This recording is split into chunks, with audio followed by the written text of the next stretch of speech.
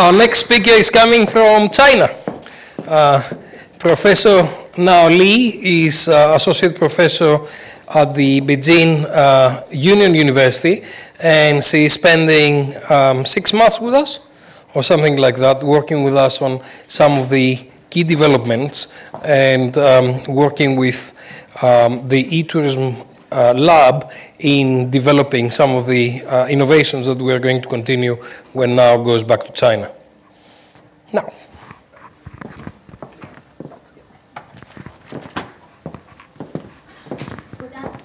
I'm uh, Naomi. What's the name now? I'm I from think you need to press this. Yeah. Okay. again? Yeah. That's it. Uh, I'm Nao Li from China. First name is Nao. Uh, today I'd like to talk about an idea from China, uh, smart tourism city. Before we know what a smart tourism city, we have to uh, know uh, what is smart cities. So first, let's look at uh, at the end of 2008, the the the, the IBM, the the big uh, company, um, proposed um, a concept called uh, uh, smarter planet. It's actually a, a business a business strategy, but um, the idea is good. Uh, it gives us um, a blue map to build. To, to use uh, ICT, uh, information technology, to build a smarter planet.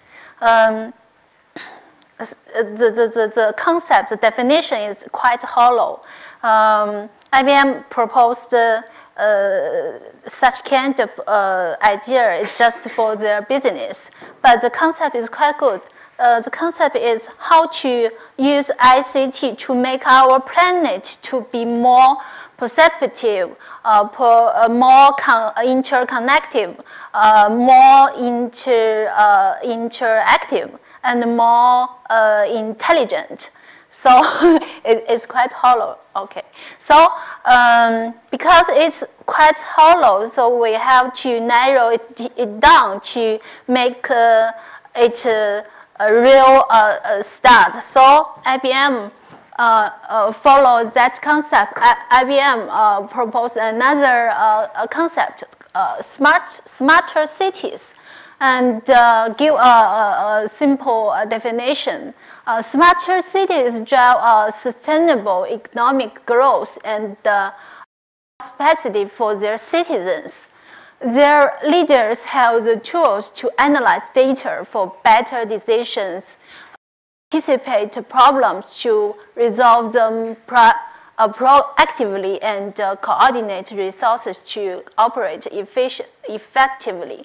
Uh, even though it is just IBM's uh, business strategy, but um, after the, the, this idea was proposed, um, uh, most of um, many, many I, I, I, ICT company and some uh, many cities consider this, uh, this idea and uh, uh, use advanced ICT into rea reality to build the smarter cities, especially in Asian countries.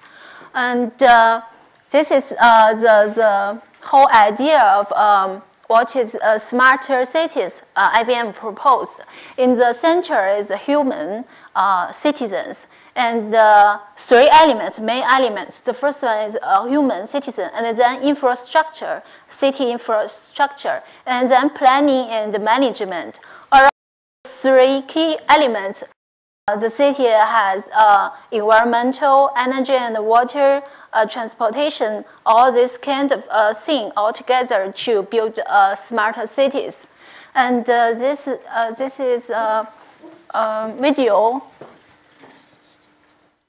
can show you what is uh, smarter cities.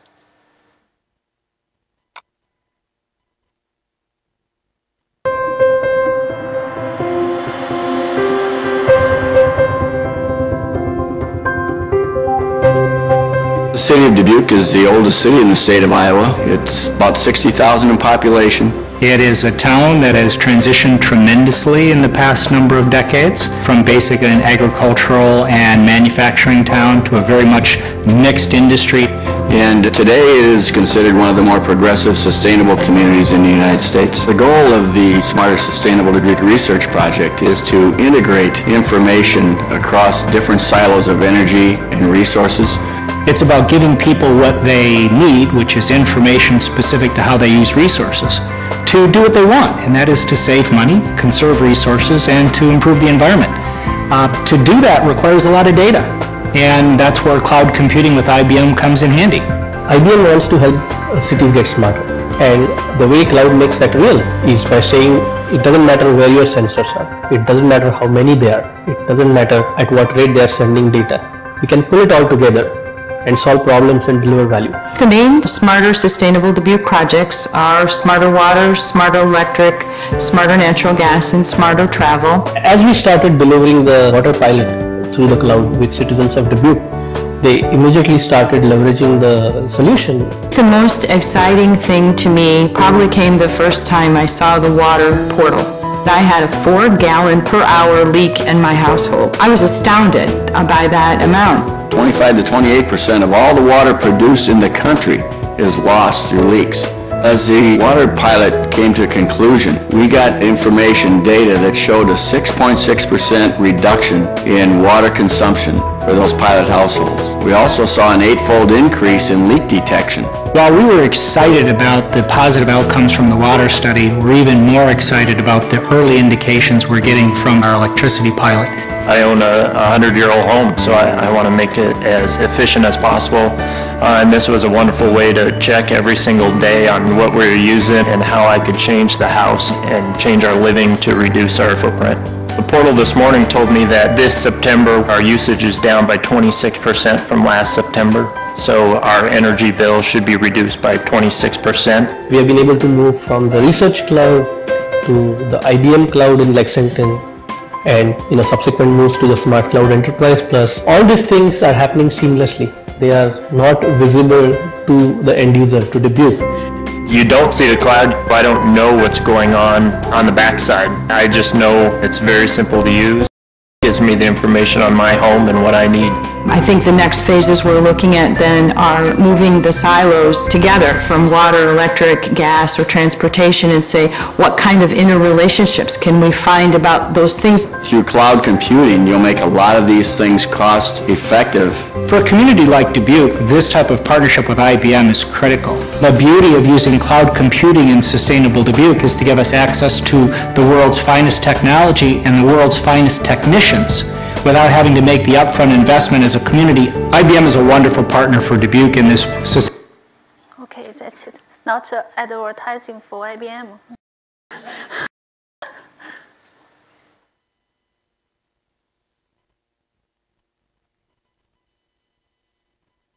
Okay, um, because the, the, idea is good, so uh, there are lots of followers, uh, such as uh, lots of uh, uh, mobile operators around the world. So uh, many, many um, companies uh, give um, their own understanding about smarter uh, cities.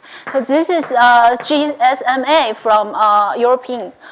give us smarter, their own definition for smart, smart cities. the smart city is to accelerate adoption of mobile-based solution and service. It's, it's, from this definition, you can see it's really a business strategy because this company, the technology, their technology is focused on mobile technology. Um, this picture shows the idea of uh, GSM's uh, smart cities. Uh, uh the aim is uh, to uh, build up connected living cities. So all the smart cities, their focus, their focus is citizen uh, living there, living within the city. So this is a smart city. Okay.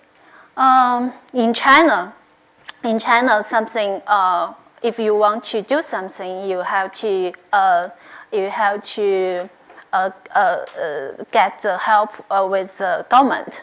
Um, on the other side, side uh, government want to do uh, such kind of thing. In China, there is no um, no uh, DMO, just like uh, a European country. We just have a government. government. So in order to do some, uh, same thing as a DMO to encourage the development of tourism uh, industry in China, the government have to think about how to uh, give uh, the, the, the, the, the society, give the, the China uh, encourage element, a stimulus. So they, this, they, they sort of uh, ICT. So they use the idea of uh, IBM as idea, smarter uh, plant, smarter cities, smart cities. They translate into a, a tourism industry. So this, uh, they propose a, a smart tourism by the central government, China National Tourism Administration. Uh, they also give um, um, a definition, uh, uh, but this de definition is, is also very hollow. But it gives um, an idea based on the character, based on the current status of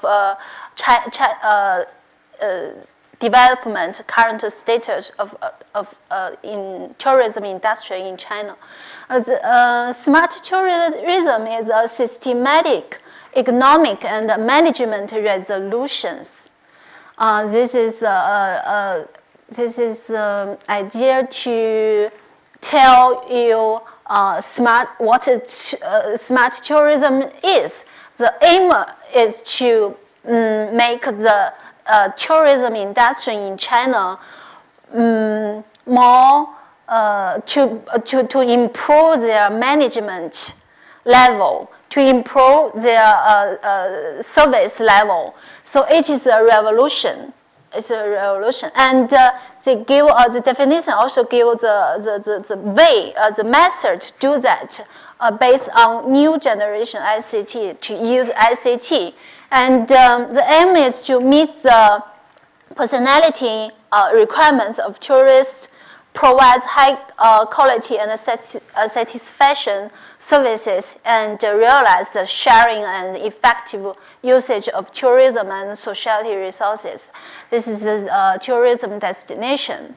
And um, in, uh, in China, the central government, uh, the central government, the China National Tourism Administration has no uh, money but local government has money. Has money. So how to, in order to encourage uh, the smart tourism into reality, into a real start, uh, into a real thing, uh, the central government had to had to uh, encourage local government to be engaged in uh, such kind of idea to realize it. So the central government think uh, sort out idea to um, let the uh, local government to be active into uh, to realize smart tourism.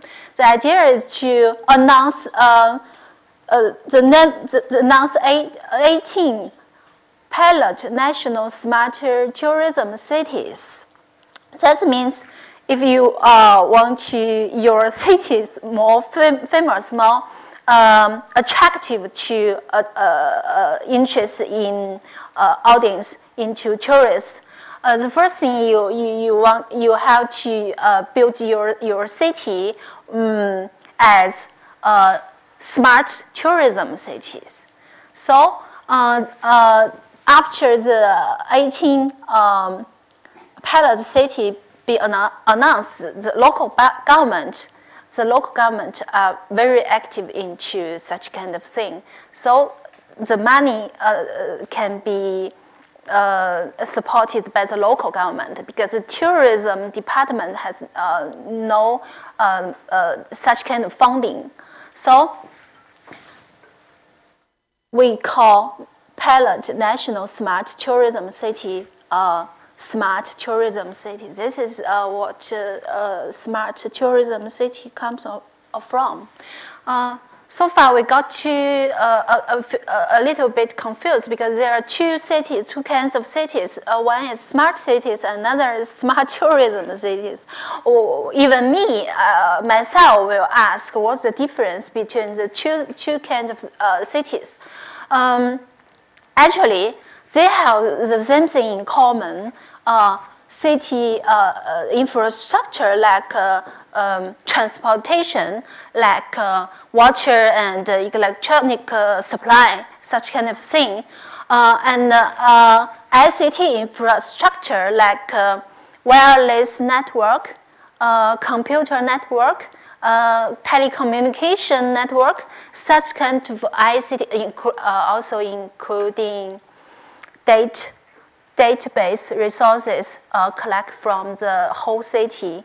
Um, so this is infrastructure. They have the, the same thing in common. The, the, the, applications, Apple application, ICT applications are based on the city and ICT infrastructure. But they do have a difference in, they uh, have different focus. For the smarter, uh, smart cities, their focus is citizens. Uh, as just now the video shows, they uh, talk about uh, water, uh, supply system, electronics uh, system. Another is, uh, but smart tourism city, cities focus on tourists. So the, the different aim, different focus. And there is an example of uh, uh, a city from China, Nanjing, the capital of, of uh, Jiangsu province. And this, is, this is the concept of the uh, smart Nanjing.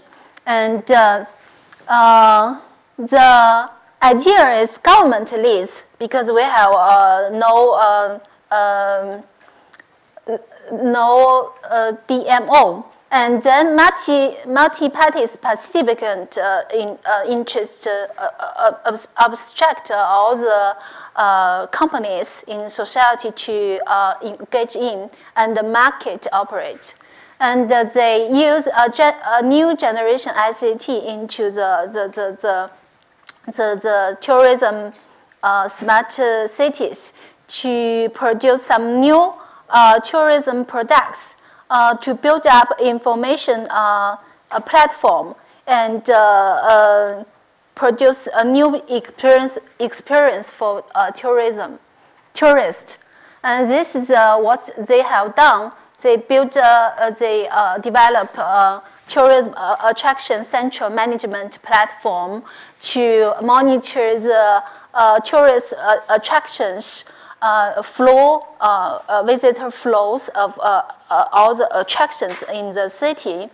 And um, they built up a website to, and also the, the, the, mobile app for the tourist. And um, this is, this is another city of China. Uh, Huangshan city is actually not a city uh, before uh, 2000. It, it actually uh, it's just a mountain uh, tourism attraction. And uh, as a developer of, of the tourism, and then a city accumulate. So there, uh, this city uh, built a very powerful uh, electronic commerce platform to um, um, sell uh, uh, ticket for the, the mountain. And uh, this electronic commerce is um, operated by an, a company, and this company is a sub a company of the mountain, the, the Huangshan, the, the mountain the attraction is itself a company. And this uh, electronic com commerce company is a sub uh, company of, of, of the, the, the, the Huangshan. So this uh, different. And uh, they call this attraction, uh, the Huangshan uh, cooperate with the um, uh, online uh, uh, travel agent.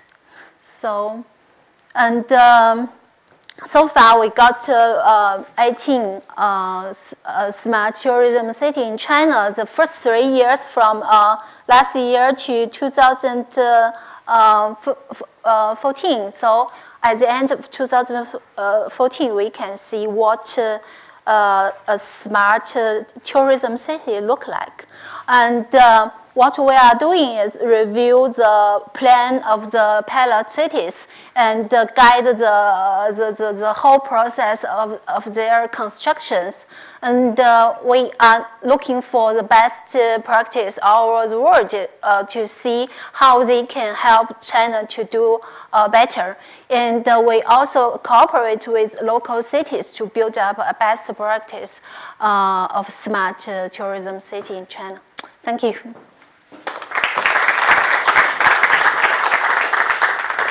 Thank you very much. Now, this is uh, quite interesting now when you are connecting all the different bits together and how you can integrate the destination or a smart city. And that's something that we start looking into here. And we, are, we would like to collaborate with the GSS, GSMA and look into how we can take smart cities and make smart tourism cities and smart destinations. Any questions for now? Any questions for now? Yeah.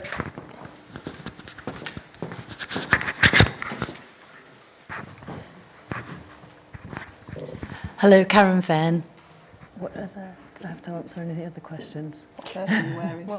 what perfume? Where are you from and what perfume? no, but in um, Burton Bradstock, and I've got Diorissimo on. um, the question I have is you were looking at monitoring the flow of visitors to attractions. Was there any action that was then taken um, on the basis of the flow? If one attraction was fuller than others, was it offers that were put on, or did you promote? Was another one promoted more heavily, or what, what was that information used for in the smart tourism cities? I think uh, at this moment uh, they uh, use that uh, system to monitor the, the, the visit flow, and uh, the system will um, alarm uh, when the, there is a limit over yeah over that limit. Um, uh, at this moment, this system is just for the management, but in the future, I think they, they, they will uh, uh, do more, better, to, uh, for example, to, uh, uh, when the flow is over some limit, and they send a message to the tourists to, to tell, tell them that in that attraction there are too many persons there, and after, and then they can use that system to um, to adjustment to do a, a, a judgment to uh, control the, the flow uh, visitor flow around the city. So uh, but at this moment just uh, management is, uh, it's very interesting. In china they are able to actually control things and they will be able to uh, divert people to different places. The nearest to that we have in the western world is disneyland because if you, if you see Disney as a park, and if you see what you can do, is you can identify where you've got overcrowded or overcrowded areas, and you can divert people to different attractions, or to take them, or send distractions so they're not getting bored, and things like that. There's a huge opportunity for management of crowds, and that's something that we are looking with Nao here. Thank you very much. Okay, thank you Nao.